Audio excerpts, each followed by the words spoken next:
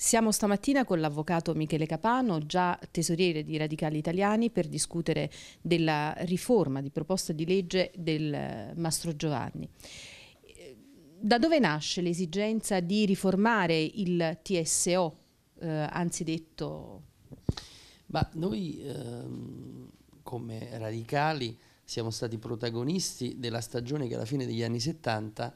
ha eh, riformato l'approccio pubblico nei confronti del disagio psichico eh, attraverso una raccolta firme in calce ad un referendum e che ha portato alla cosiddetta legge Basaglia che in realtà il Parlamento promulgò anche e soprattutto per evitare una eh, celebrazione referendaria che ci sarebbe stata di lì a poco. A 40 anni di distanza pensiamo, come Marco Pannella pensava intervenendo nella Commissione Affari Sociali alla fine degli anni 70 quando il testo fu elaborato, che questa procedura necessiti di una profonda revisione. In primo luogo per una ragione di costituzionalità di una procedura che per quanto limiti la libertà della persona, perché sappiamo che il trattamento sanitario obbligatorio vuol dire per sette giorni sulla base di una proposta di un medico controfirmata da un altro medico e una successiva ordinanza del sindaco, la possibilità di un ricovero coatto in una struttura psichiatrica di norma i cosiddetti SPDC, cioè i servizi psichiatrici di diagnosi e cura, che sono i reparti psichiatrici ospedalieri, di una persona che eh, si ritiene debba curarsi e che tuttavia non ha la volontà di curarsi. Eh, procedura che può essere ripetuta poi per altri sette giorni con le stesse modalità eh, e in realtà molto spesso viene ripetuta ehm, per molte settimane. Ora, questa forma di limitazione della libertà personale, ad onta di un articolo della nostra Costituzione, l'articolo 13, che dice che ogni eh, ingerenza pubblica nei confronti della libertà della persona deve comunque passare attraverso il vaglio di un magistrato, è invece affidato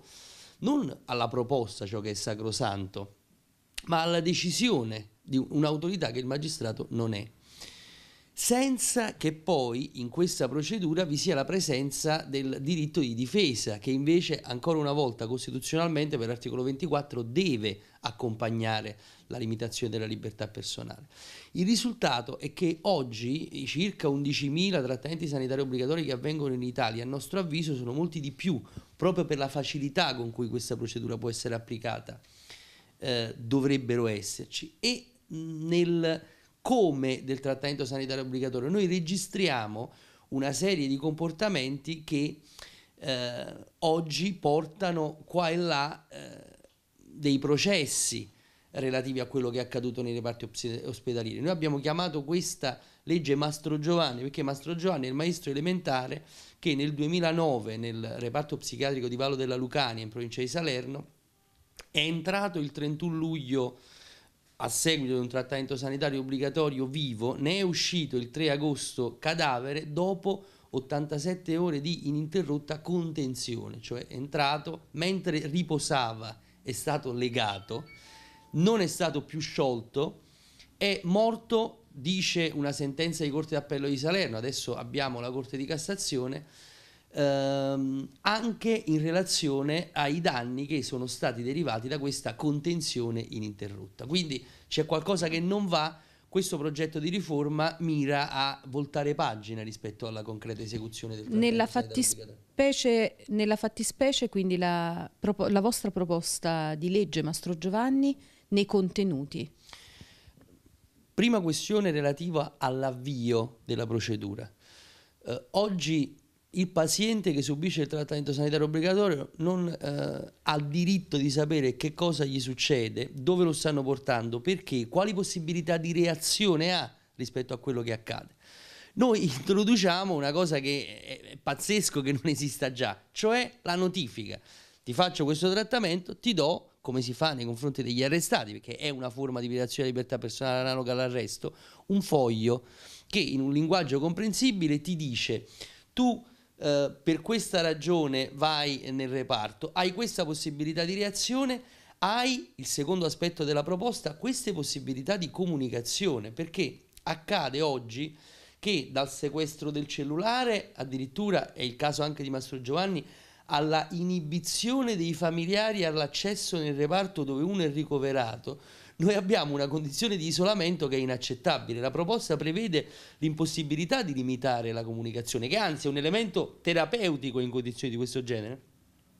L'impossibilità di utilizzare strumenti nelle modalità che sono accadute rispetto a Mastro Giovanni e altri casi eh, di eh, contenzione, l'accesso anche di strutture associative che possano svolgere un ruolo di controllo ma anche di ausilio nei confronti eh, di situazioni che innanzitutto hanno bisogno di un approccio di tipo umano. Infine il coinvolgimento di una figura, il garante nazionale dei diritti non soltanto dei detenuti, ma di coloro i quali subiscono delle restrizioni della libertà personale, quindi anche dei cittadini che sono sottoposti a trattamento sanitario obbligatorio, che quando la settimana comincia a diventare due, tre, deve necessariamente essere informato del fatto che c'è una situazione di limitazione che si protrae e che ha una possibilità di intervento, di accesso anche nei reparti analoga a quella che conosciamo rispetto ai deputati, eh, ai senatori che hanno la possibilità di intervenire eh, per eh, visitare le carceri e quindi per monitorare anche le condizioni di, di, vita dei detenuti. È un tipo di verifica che occorre, valorizzando, noi pensiamo il ruolo del garante,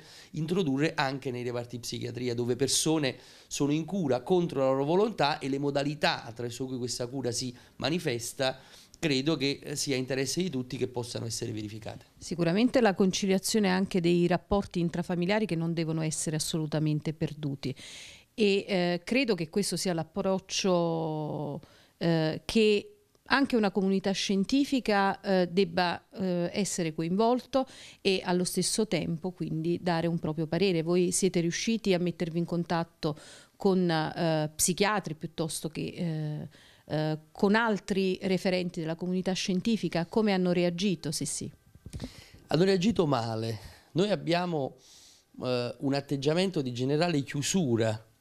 della comunità psichiatrica organizzata, attenzione, perché poi abbiamo una serie di individualità sulle quali anche facciamo leva, perché questo viene ritenuta una indebita intrusione nei confronti di luoghi che loro sono abituati, tra virgolette, a gestire in proprio. Devo dire che questo non ci spaventa perché quando Franco Basaglia cominciò anche il suo cammino che ha portato poi alla, alla, chiusura dei manicomi e a un diverso approccio nei confronti del disagio psichico, rappresentava una sparuta minoranza all'interno della comunità psichiatrica che era quella che aveva sempre gestito, diciamo così, i manicomi ed era affezionato a quello come unica modalità di riferimento nei confronti del, di quella patologia. Ora, questo passo ulteriore nei confronti della libertà del malato e di un approccio che sia non esclusivamente custodialistico, farmacologico, anche nei servizi psichiatrici di diagnosi e cura, allo stesso modo viene vissuto come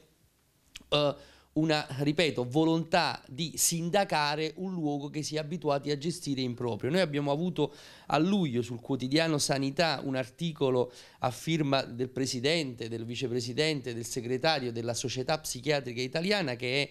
intervenuto in modo specifico nei confronti della proposta di legge dei radicali italiani per segnalare una presa di distanza, soprattutto chiarendo che eh, non c'è bisogno di un allargamento, diciamo così, delle tutele nell'ambito di una procedura che deve rimanere soltanto sanitaria e in cui parlare di diritti, diciamo così, è improprio. Noi pensiamo che improprio non sia, continuiamo un dialogo che credo debba vivere pure di occasioni pubbliche che abbiamo costruito in parte e che continueremo a, a costruire nella idea, nella idea che vale per la giustizia, deve valere anche per la sanità, i processi di riforma che riguardano casi di questo genere, che poi interessano la vita di tutti i cittadini, non debbano essere confinati in discussioni tra addetti ai lavori, non è una cosa che possiamo fare decidere soltanto a chi se ne occupa dal punto di vista professionale, tanto quanto la riforma della giustizia non è qualcosa che interessa e che quindi deve essere decisa solo dai magistrati è una cosa che interessa tutti i cittadini, che deve vivere nella valutazione, nella discussione, nella scelta dei cittadini. Ecco perché noi ci auguriamo che questa possa diventare una proposta di legge di iniziativa popolare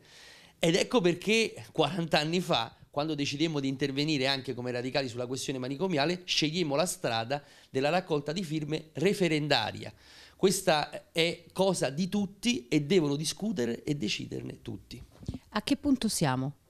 Siamo in una fase che è di messa a punto, la proposta già ha un contenuto che è quello che anche ho illustrato, del, dell'aspetto organizzativo che è naturalmente di cittadini che dicono io ci sono in strada per fare questo percorso, che è finanziaria perché è di cittadini che dicono io do questo obolo per consentire a questo percorso perché sappiamo che in Italia le procedure di coinvolgimento dei cittadini lo vedremo adesso rispetto anche alla raccolta firme delle forze che saranno impegnate alle prossime elezioni politiche, vivono di una serie di enormi difficoltà sul fronte dell'autenticazione, della certificazione, quindi c'è uno sforzo anche finanziario e siamo nella fase eh, che è deputata a costruire il comitato, diciamo così, che deve, a partire dall'iniziativa dei radicali italiani, assumersi la responsabilità in un anno, il 2018, che sarà anche simbolico perché eh, celebreremo i 40 anni dall'approvazione della legge Basaglia e quindi eh, l'idea di fare un tagliando al funzionamento dei servizi psichiatrici e anche simbolicamente, diciamo così, rappresentata, possa essere un anno di eh, raccolta delle firme in calce a questa proposta. Noi ringraziamo l'avvocato Michele Capano per il suo impegno e eh, lo esortiamo a continuare lungo questa strada. Grazie. Música